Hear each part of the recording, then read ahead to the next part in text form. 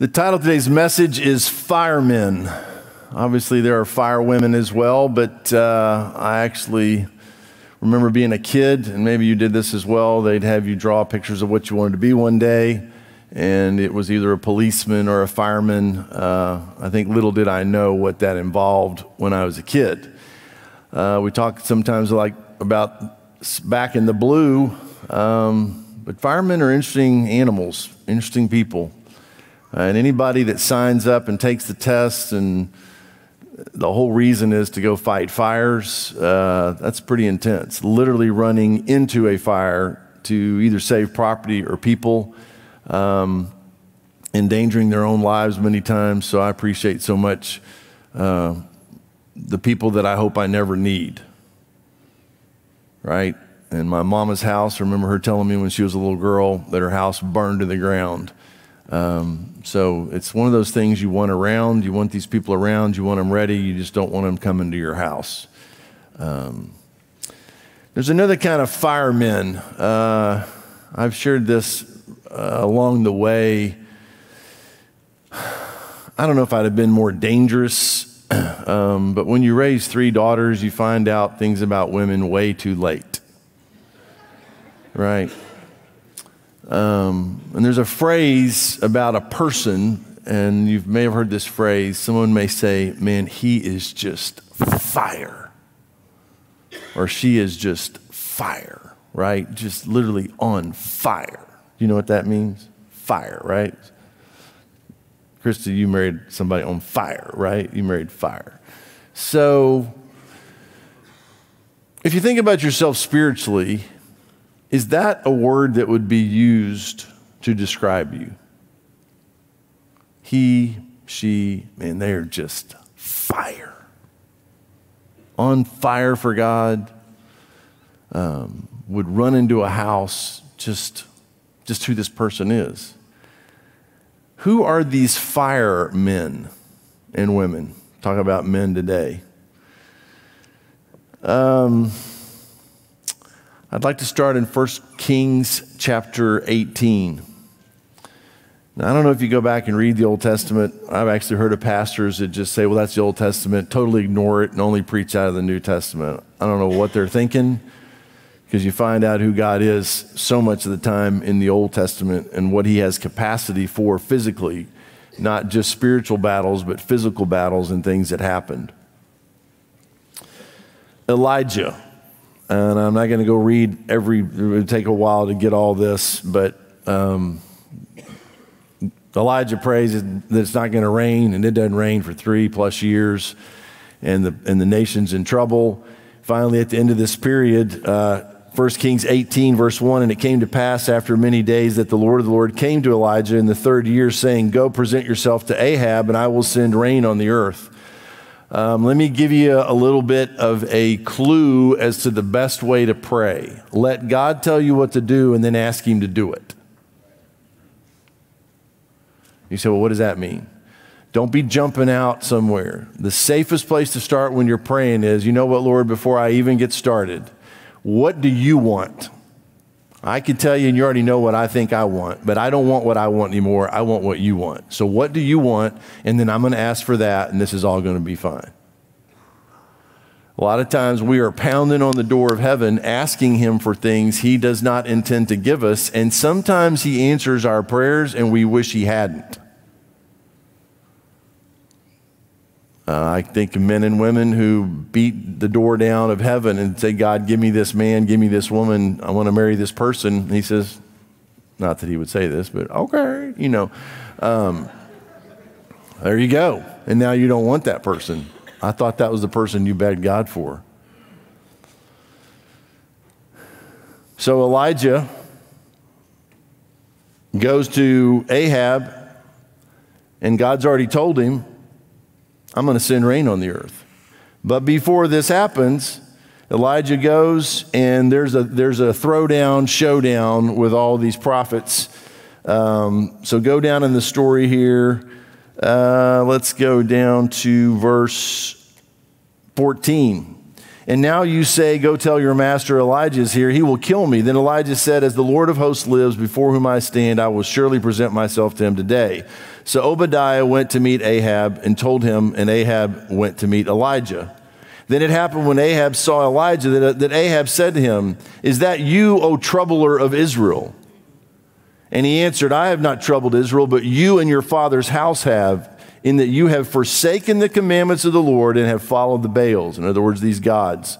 Now, therefore, send and gather all Israel to me on Mount Carmel. Tell everybody to meet at Mount Carmel. The 450 prophets of Baal and the 400 prophets of Asherah who eat at, the, at Jezebel's table. Do not name your daughter Jezebel. I don't care who tells you it's in the Bible. Don't name your kid Jezebel. So Ahab sent for all the children of Israel and gathered the prophets together at Mount Carmel. And Elijah came to all the people and said, How long will you falter between two opinions? If the Lord is God, follow him, but if Baal, follow him. And then look at the end of verse 21. And the people answered him not a word. That's a problem. That's lukewarm. That's not fire. That's, well, we're afraid to say one or the other, so we're going to say nothing. You cannot live the rest of your life that way. You, you can, but you shouldn't be able to. If the Lord is God, follow him, but if Baal, follow him. The people answered him not a word. Then Elijah said to the people, I alone am left a prophet of the Lord, but Baal's prophets are 450 men, so I'm outnumbered 1 to 450. Therefore, let them give us two bulls, and let them choose one bull for themselves, cut it in pieces, and lay it on the wood, and put no fire under it. And I will prepare the other bull, and lay it on the wood, and put no fire under it. Then you call in the name of your gods, and I will call in the name of the Lord. And the Lord God who answers by fire, he is God. So all the people answered and said, It's well spoken. We're in. Sounds good. So let me, let me just ask you a quick question. What has your God provided you recently? You say, What do you mean? God's my God. If He were your God, you go back up there, you'd be following His commandments and what He says. You must have found somebody better. And when you call out to Him, what does He deliver? Chaos, pain, suffering. That's what the enemy delivers. You say, well, I'm not worshiping the devil then, then what are we doing? So they all agree. Verse 25 Now Elijah said to the prophets of Baal, Choose one bull for yourselves, prepare it, prepare it first for your many, and call on the name of your God, and put no fire under it. So they took the bull which was given to them, and they prepared it, and called on the name of Baal from morning even till noon, saying, Oh, Baal, hear us. But there was no voice, no one answered. Then they leaped upon the altar which they had made. And so it was as at noon that Elijah mocked them and said, Now, this is high noon. These guys have been 450 of them going crazy trying to get Baal to do something. He mocks him and says, Cry aloud, for he is a God. Either he is meditating or he is busy, or he is on a journey. Maybe he took a trip, or perhaps he is sleeping and must be awakened. So they cried aloud and cut themselves, as was their custom, with knives and lances until the blood gushed out on them. And when midday was past, they prophesied until the time of the offering of the evening sacrifice, but there was no voice, no one answered, no one paid attention. Then Elijah said to all the people, Come near to me. So all the people came near to him, and he repaired the altar of the Lord that was broken down. And Elijah took 12 stones, according to the number of the tribes of the stones of Jacob, to whom the word of the, of the Lord had come, saying, Israel shall be your name. Then with the stones he built an altar in the name of the Lord, and he made a trench around the altar large enough to hold two seahs of seed. And he put the wood, on, wood in order cut the bull in pieces, and laid it on the wood, and said, Fill four water pots with water and pour it on the burnt sacrifice and on the wood. In other words, this isn't good enough. I need it wet. Then he said, Do it a second time, and they did it a second time. And he said, Do it a third time, they did it a third time. So the water ran all around the altar, and he also filled the trench with water, with Walter is not in the Bible by the way, with water. And it came to pass at the time of the offering of the evening sacrifice that Elijah the prophet came near and said, No cutting, no d- jumping around on the altar. Comes near and said, Lord God of Abraham, Isaac, and Israel, let it be known this day that you are God in Israel, and I am your servant, and that I have done all these things at your word. Hear me, O Lord, hear me, that this people may know that you are the Lord God, and that you have turned their hearts back to you again. Then the fire of the Lord fell and consumed the burnt sacrifice and the wood. Now look at this, and the stones and the dust, and it licked up the water that was in the trench. Now that's a fireman right there. You say, well, how did he do that? He trusted God. You say, well, how does that apply to my life? What was God after? Look at the last phrase up there in verse 37. And that you have turned their hearts back to you again. So where have our heart where do our hearts go? They're not on fire anymore. Lukewarm at best sometimes, or with men especially. If you're not on fire for Jesus, there's a good chance you're on fire for something else. There's fire somewhere, and it's a consuming kind of fire, and then you're in trouble passions of the flesh, whatever it may be, then you got a problem. So, what is God trying to do? Just come back. Why, why do you go after these false gods? Um, I saw a picture this week of a uh, some kind of some Indian goddess or just these weird things, and I'm like, okay, Lord, I, I you know, again, I'm not being critical of somebody. You cannot pray to a rock, okay? You can pray to the rock. You cannot pray to a rock and get anything out of it. You can put one in your house. I actually have a friend, I went in his house and he had a, a Buddha of some kind in the house as a decorative piece. I said, dude, I'd get that out of, I'd get that out of my house. He said, oh, it's just decoration. Let me tell you something. Idols are not decoration.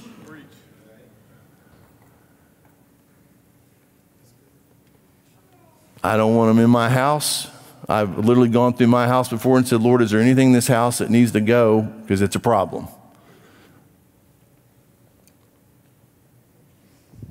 Keep reading this story.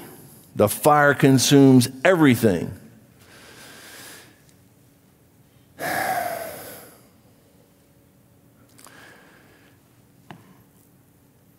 Verse 39 Now, when all the people saw it, they fell on their faces and they said, The Lord he is God. The Lord, He is God. They wouldn't say anything a minute ago, but then fire falls. What is it going to take for us to say the Lord, He is God? What do you got to see? What's got to happen? And Elijah said to them, Seize the prophets of Baal, do not let one of them escape. So they seized them, and Elijah brought them down to the brook Kish, Kishon and, and executed them there. Then Elijah said to Ahab, Go up, eat and drink, for there is a sound of abundance of rain. So, uh, so Ahab went up to eat and drink, and Elijah went up to the top of Carmel. Then he bowed down on the ground and put his face between his knees, and he said to his servant, Go up now, look toward the sea. So he went up and looked, and he said, There's nothing. And seven times he said, Go again. Then it came to pass the seventh time that he said, There's a cloud as small as a man's hand rising out of the sea. So he said, Go up, say to Ahab, prepare your chariot, and go down before the rain stops you. It's about to rain so much your chariot won't make it through.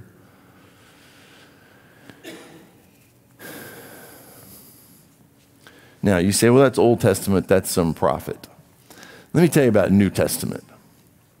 The way I read Scripture, the God who created the entire universe when I was six years old and prayed a simple prayer, moved into this physical body, and He has not left me yet. I do not have God with me, I have God in me. What does that make possible? You walk into a room, there's light. It can be a dark room. You walk in, you are the light of the world, the scripture says. Unless we've hidden it under some kind of basket, trying to mask it and hide it. Um, I don't know why this comes to mind, but I had a, I, I used to work with a guy, and he would go on business trips, and I'm not sure I can do it.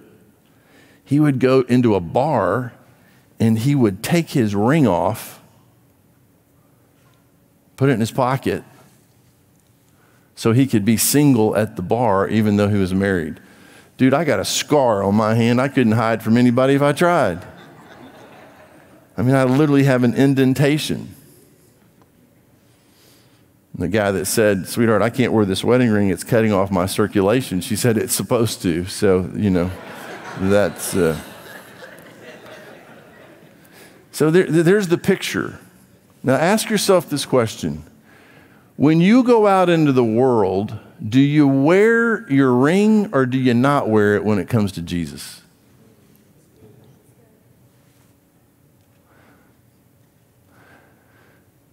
Now, in my case, I don't take it off. So I don't have to wake up and decide whether I'm going to be married today or not. I'm married no matter what and don't have a problem with that. I'm married. I'm not trying to tell someone I'm not married. So you put on the Lord Jesus Christ, what you going to do now?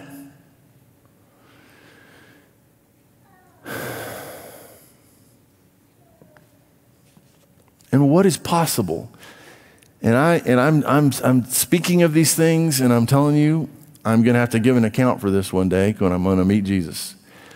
I think there is way more possible than even I know about.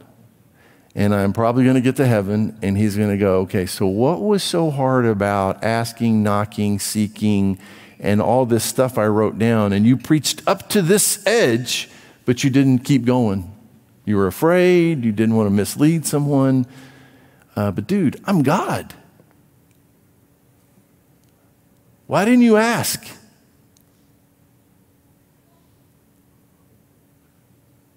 Just take a shot.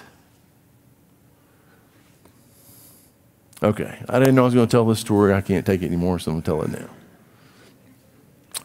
So, my wife and I buy a house, got the kitchen, and she decides she wants a farmhouse sink. Farmhouse sink it is. So I want to get her a nice farmhouse sink. So I find one on this Facebook thing, Marketplace in Weatherford, Texas. This guy's got the Mac Daddy farmhouse sink.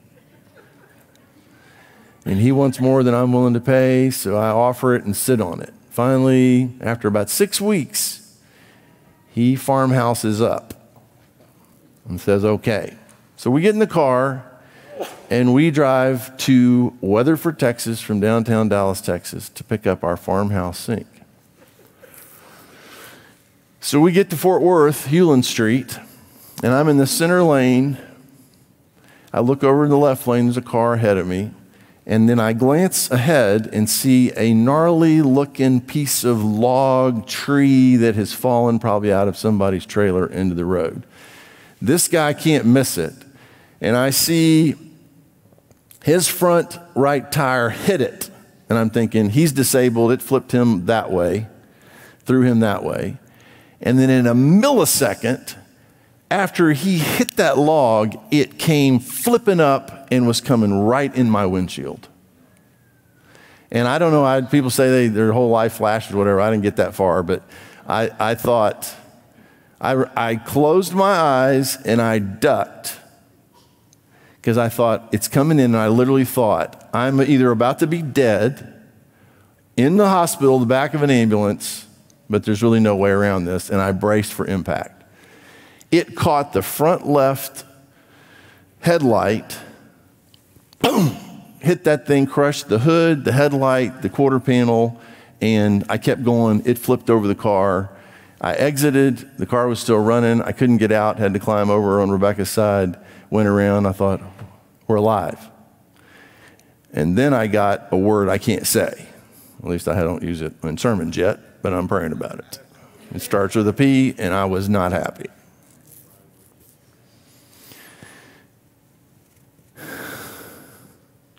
Because I realized somebody is trying to kill me and keep me from getting to Weatherford, Texas, not to my sink, but to somebody that owns that sink. So now I'm mad.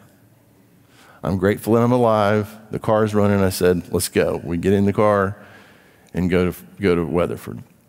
Pull up in front of this guy's house. He sees the car, I guess, and out from the back of the house on a dolly is this giant farmhouse sink. You could, you could bathe triplets in it. I don't know what we're going to do with it, but we, you know. He's got it on a dolly pushing it. He gets to the back of my car, and uh, we load it in the back together. And then I showed him my car, and we're standing with the back of the car up. And I looked at him. His name is Matt, and that's the name of the sink now, too, by the way. And I said, Matt, I said, I don't know who you are and what's going on with you. But I almost died coming over here to get this sink from you, and I don't think it's about the sink. I think it's about you. And I looked at him and said, If you dropped dead right here in front of your house, where would you go? He said, Oh, that's a big question. 40, 40 year old guy, two kids, wife. I said, Where would you go? And he said, Well, I think I'd go up. And I said, Why do you think that? Well, I've been a nice person. He started, and I said, Nope, that's not the answer. Just interrupted him. That's not going to work. I said, Dude, that's like praying, you're hoping that you have cowboy tickets and going season tickets and going to the gate and saying, I'm here, I want in, I hope I have tickets. I said, dude, they're not letting you in. You got to have a ticket. I said, here's how you get to heaven. And I shared the gospel with him. I said, has anybody ever explained this to you? And he said, no. I said, would you like to do that right here in front of your house? He said, I would. And we prayed, and he became a Christian. I said, call your mama. Got her on, he had her up. I said, no, I want to hear this. Got her on speaker and he told her. Turns out his, neighbor, his neighbor's a youth director. He's had people praying for him, and he was like, man, he couldn't believe it. Now, he said, why'd you tell that story? You got to bring some fire up in here. You got to stop being discouraged by attacks. This is a war. You say they're shooting at me. Of course they're shooting at you. It's a war. What did you think? I just wanted my little ticket to heaven. No, it's not just a ticket to heaven. This is a war, and there's people's lives at stake. And I looked at this guy, Matt, and I said, Matt, this is how much God cares about you. He may have led us to buy an old house, gut the whole thing. My wife won a farmhouse sink. And the whole reason for the whole exercise was to get us here to you today, and that's it. That's how much God cares about you. Are you willing for that to be the reason? You say, well, not, I'm in a bad spot. Okay, Jesus ended up in a bad spot.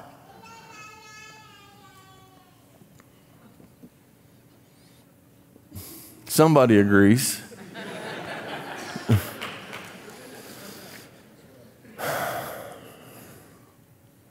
So you say, well, what about your car? What about my car? We can get the car fixed. So then I take it to get it fixed. And I go into the enterprise rent a car office and they're going to give me a car. And I say, How long you been in Dallas? Two days. So I start talking to him. I'm like, Well, you can't live that every day all the time. And tell me where you got a verse that says you can't. How are you living? And how's that working out for you? What are your gods doing for you? How much fire are they bringing on your life? How much demonstration in my life consistently is there that God lives in me and that He's trying to do something and He's, he's able to do it? And I tell you plenty of stories about me getting in the way. I have days I get in my car and I don't want to listen to the Christian music. And so I find me some Led Zeppelin or whatever it is I want to listen to at that moment. You say, Led Zeppelin? I grew up somehow, my parents had no idea who Led Zeppelin was. And we had one record, and we'd shoot pool, the three of my, my brother and sister and I, and we're out there listening to I Got a Whole Lot of Love or whatever it was. We had no idea what they were talking about, but we had a Led Zeppelin record, and we listened to it thousands of times and should never have had that in our heads. But anyhow, um, right? You're doing the same thing. So you wake up and you say, Lord, today there's mats out there. There's people out there. There's people, as we're sharing the prayer time, there's people to pray for. I got to stand in the gap. I got to be the person that intercedes for that young teenage girl, or they may not make it.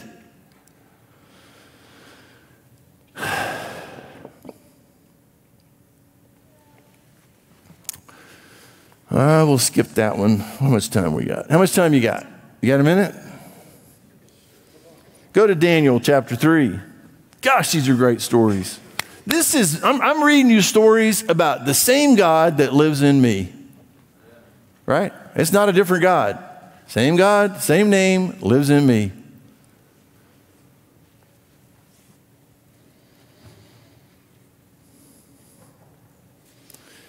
And this background on this one is they're trying to trap Shadrach, Meshach, and Abednego, get the king. You know, he builds this big idol. Everybody's got to bow, the, crank the music up, and if you don't bow, you get thrown in a fiery furnace. So, D- Daniel chapter 3, go down to verse 16. They get caught not bowing. You know, by the way, that's what you want to have happen. Get caught not bowing. The world says, well, this is what you're supposed to do. And you say, I'm out. I'm not bowing to that. I am not doing that. Daniel 3:16 Shadrach, Meshach and Abednego answered and said to the king, "O Nebuchadnezzar, we have no need to answer you in this matter. In that is if that is the case, you're going to throw us in the fiery furnace. Okay, if that is the case, our God, whom we serve, is able to deliver us from the fiery furnace. So, number one, He can deliver us from the fiery furnace, and He will deliver us from your hand, O King. In other words, either we're about to be delivered from the fiery furnace or from you. But one of those two things is going to happen. And if we get delivered from you, we'll be with God, we'll be dead. But either way, you're not in control. But if not, let it be known to you, O king, that we do not serve your gods, nor will we worship the gold image which you have set up. Say that to your country. Say that to your politics. Say that to your wokeness. We're not doing it. And what our culture says, oh, this is what everybody's doing. Stop doing what everybody's doing. Get you a verse to back up what you're doing. And I know I get clobbered for this. I, I don't care how many laws you pass, you will never legalize marriage in the eyes of God. It ain't going to happen. We've lost our minds. We're, we're so advanced, we've made same sex marriage legal. And it's the same country that made owning people legal. The same crazy people.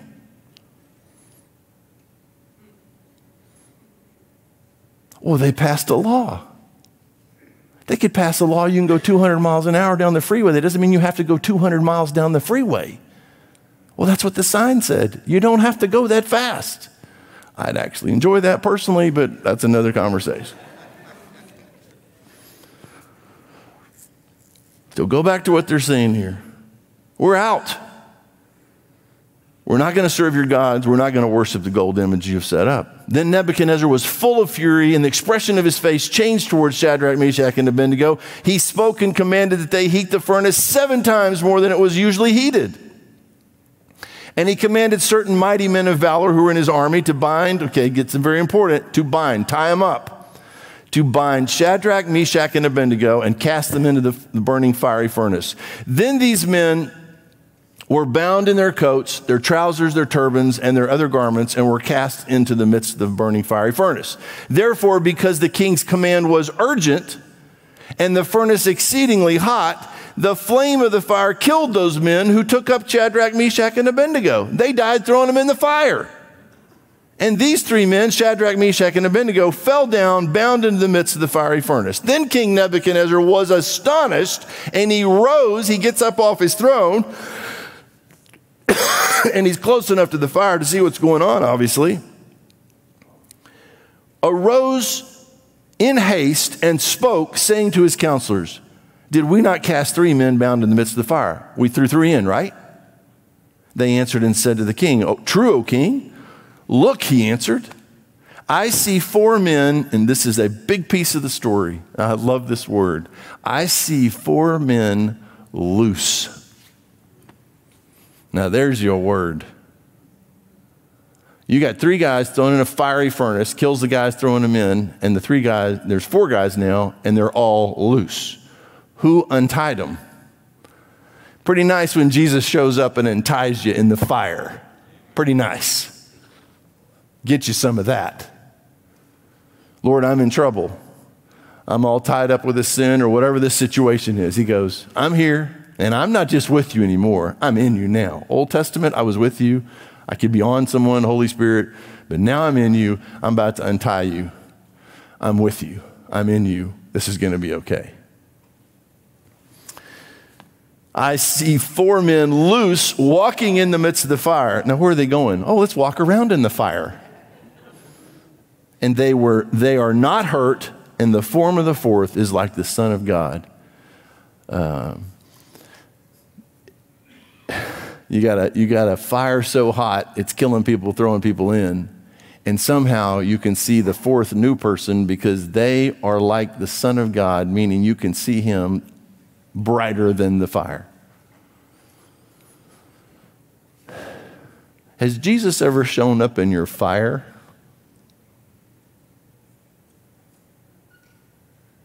I got a buddy in the room today. His little girl was born. They did what was supposed to be a simple procedure. The new doc doing it used an adult needle instead of a child's needle and almost killed her. And she's 40 something years old. How? 36 today. Never was the same.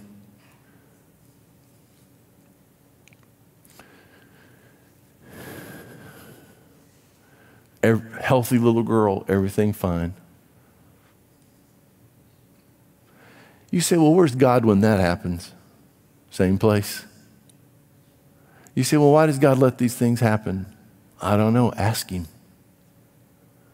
I don't want to talk to Him I'm back to the P word, angry. So, what are you going to do? What did he do? He and his wife. You finally get to a place, and you've only got a few options. You either kill yourself, you curse God and just wait to die, just be bitter and angry, or you do what Scripture says and say, okay, I don't get this, but no matter what, I will trust you and I will thank you. And let's see what you bring from this. You say, I'm not interested in that. Let me tell you something about becoming a Christian. You signed up for the package, the whole thing. You say, I did not sign up for that kind of suffering. Yes, you did. You say, Well, I don't want that kind of suffering. It's not your choice. Now, I can tell you this my friend in this room and his wife would not be the same people if it would not have been for what God allowed to their little girl.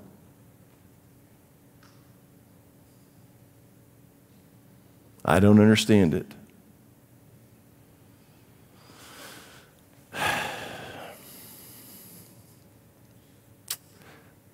And there's unspeakable tragedy in people's lives. But you have to help them get to Jesus, get Jesus, and then hold on to Jesus.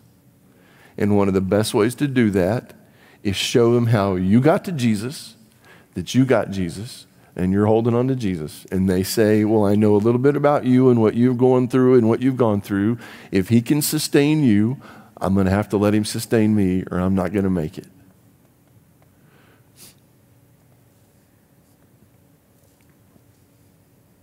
And before you jump someone who's in trouble, just maybe ask a few questions. Why does someone do drugs? Why does someone drink? You say, oh, he's just a drunk. She's just a drunk. She's just a drug addict. He's just a loser. Ask a couple of questions. Hey, how are you doing? Not so good, maybe. Um, how's your life been? You just listen long enough, people tell you where their pain is. Like a horse whisperer runs his hands down the back of that horse where it twitches, something's up. Some pe- sometimes people can't get out of the fire, and then you show up. Um,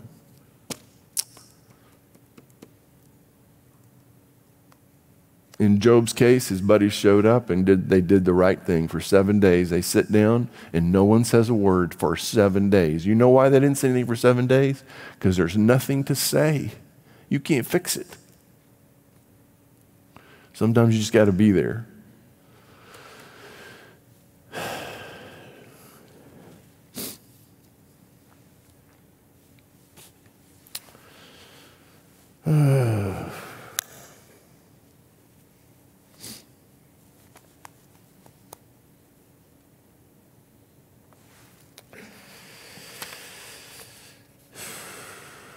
All right, we'll skip some of these and let's, let's, shut, let's shut it down with Ephesians chapter 6.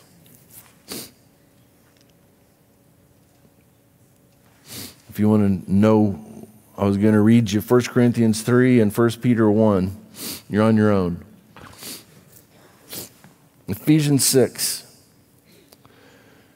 First part of this Children, obey your parents and the Lord, for this is right. Honor your father and mother, which is the first commandment with promise, that it may be well with you and you may live long on the earth. You want, to, you want things to go better and live a long time? The first commandment in the Old Testament that has a, a promise attached to it is what? Honor your father and mother.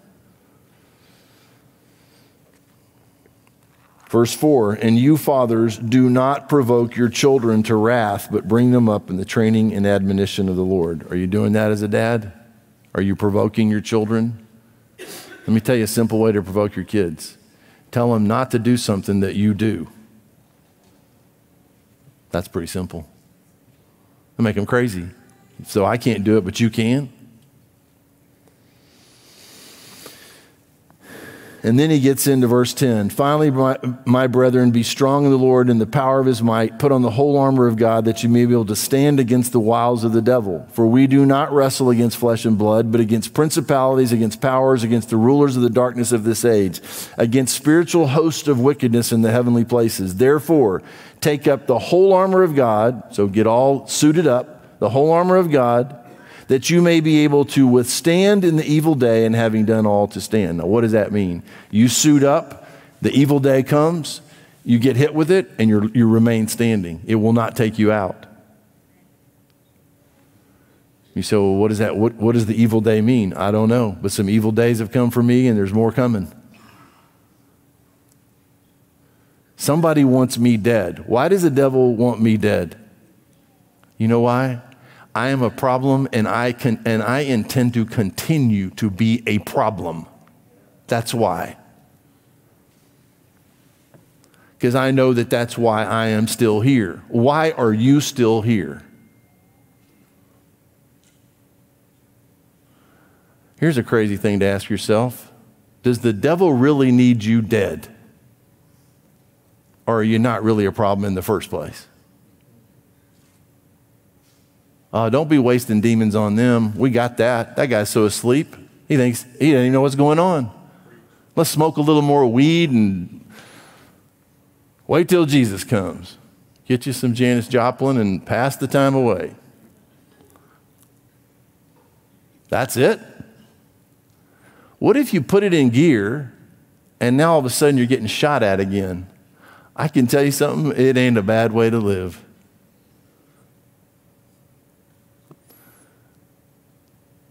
And if they're not shooting at you, you're probably not over the target.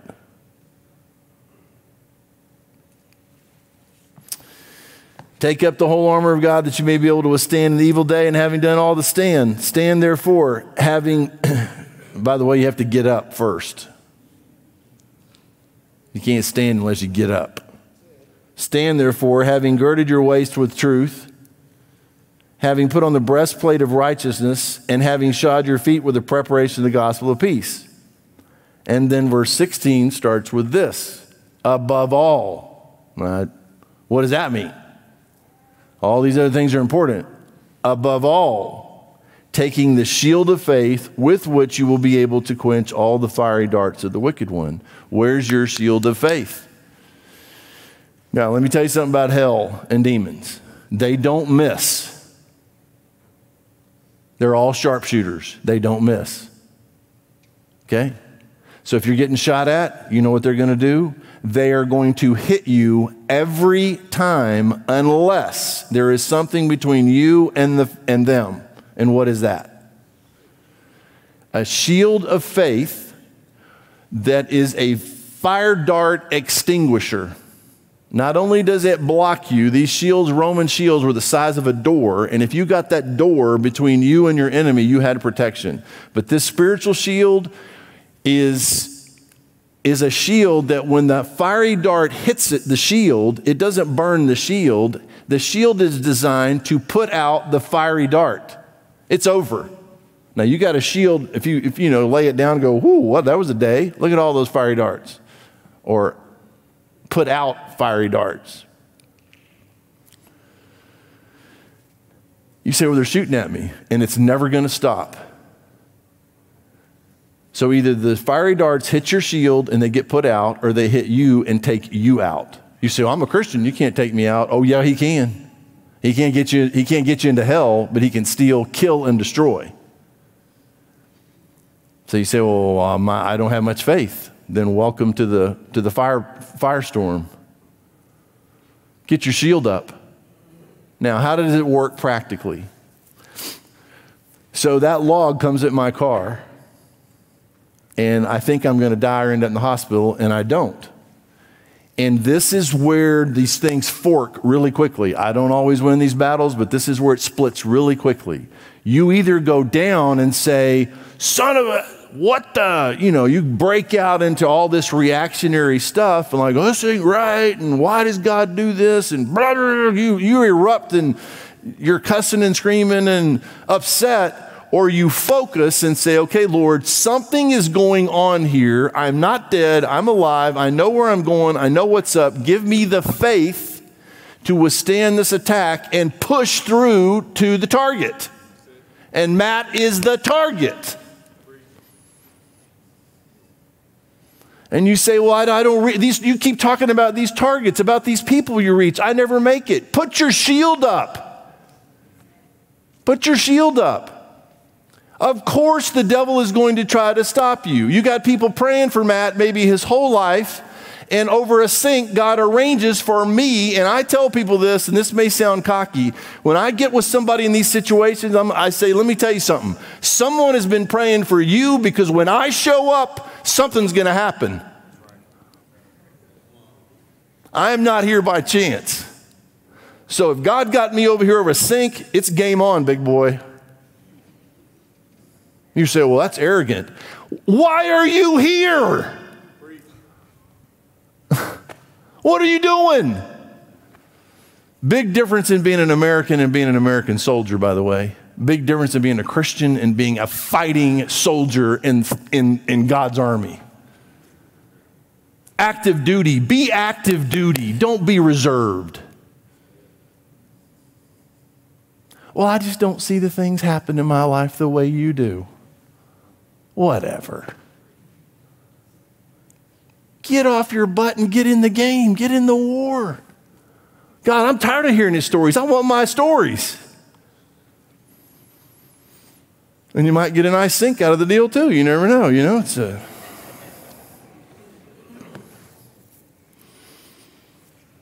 Above all, take the shield of faith with which you'll be able to quench the fiery darts of the wicked one, and take the helmet of salvation, the sword of the Spirit, which is the word of God, praying always with all prayer and supplication in the Spirit, being watchful to this end with all perseverance and supplication for all the saints and for me. Now, listen to how he closes this and for me. Paul's saying, Pray for me, that utterance may be given to me, so I want opportunity to speak that I may open my mouth boldly to make known the mystery of the gospel. Now, this is Paul writing scripture, writing these letters, and he's asking for prayer for boldness.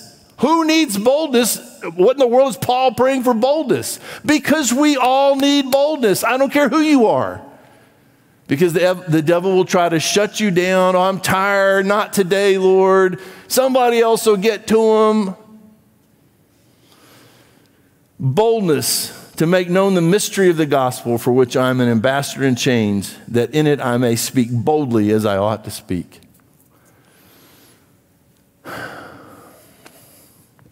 I don't know. I'm probably running. I'll probably run everybody off. You're like, oh, well, good for you, dude. We're not doing this. Then I'm, I'm going to keep preaching to people who are interested in this. That's what I'm here for. So I get it. You don't want to hear this anymore. I don't say this casually. Go somewhere else. I'm not interested in babysitting people who don't want to fight. Oh, I like your sermons. Do something with them. Live it. Get in the war. The fireman that we are supposed to be, I am supposed to be a spiritual arsonist. That's what I'm supposed to be. I'm supposed to be setting the world on fire. Everywhere I go. And by the way, Matt didn't hesitate at all. You say, well, you probably talked him into accepting Jesus. No, dude, when the fruit is falling off the tree and you just run and catch it, you didn't even touch the tree. He was ready. The question is, was I?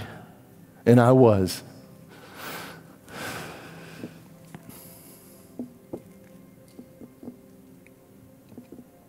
And you could be too. You just got to pick. The Lord, He is God. And we will obey and we will follow His commands and we will trust Him and we'll serve Him. And there's just no telling what can happen. We could take the planet if we would just get out of the way. All right, Lord, thank you so much for your word. Thank you for these people in the room and beyond. And you know I'm not really trying to run people off, Lord, but I, I, I struggle so much myself trying to stay out of the way personally. And I, so I know if it's this way for me, it's got to be this way for them too. Help people stop seeing themselves the way the world sees them or the enemies, whatever the enemies told them. Help people see themselves in the light of, of who you are and what you've made them to be and that we all have the same God living in us as, as believers. It's the same Holy Spirit, the same power.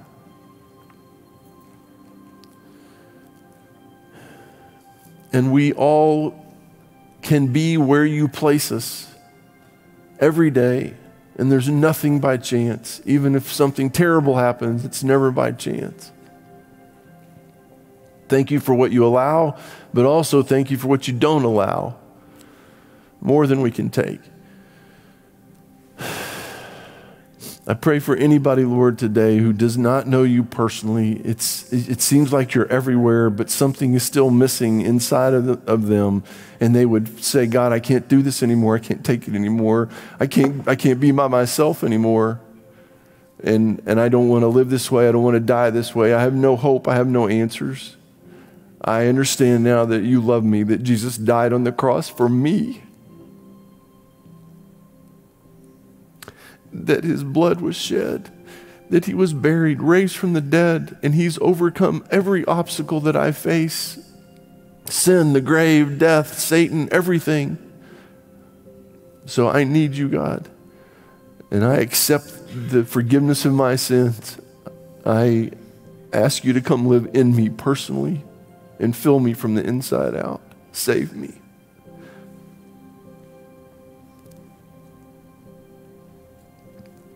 Rescue me. Make me clean. Let me start again. Let me figure out what you intended.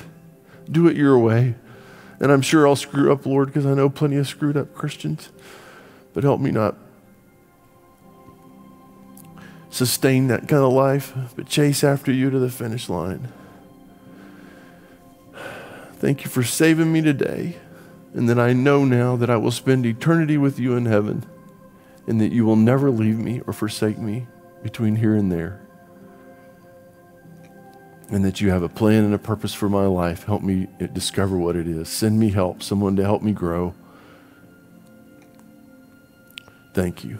And for the believers, Lord, here and wherever they are listening, that would just say, okay, God, I can't promise the rest of my life, but I'm going to I'm going to take steps today, maybe for one hour, maybe for the rest of the day, Father, show me how to engage. Light a fire in me. Help me not be lukewarm. Help me be hot after you. And take the steps necessary to live the life that you intended. And use me, Lord. Get, get me some stories of literally seeing the world change through prayer, through conversations, whatever it is, God. I'm yours.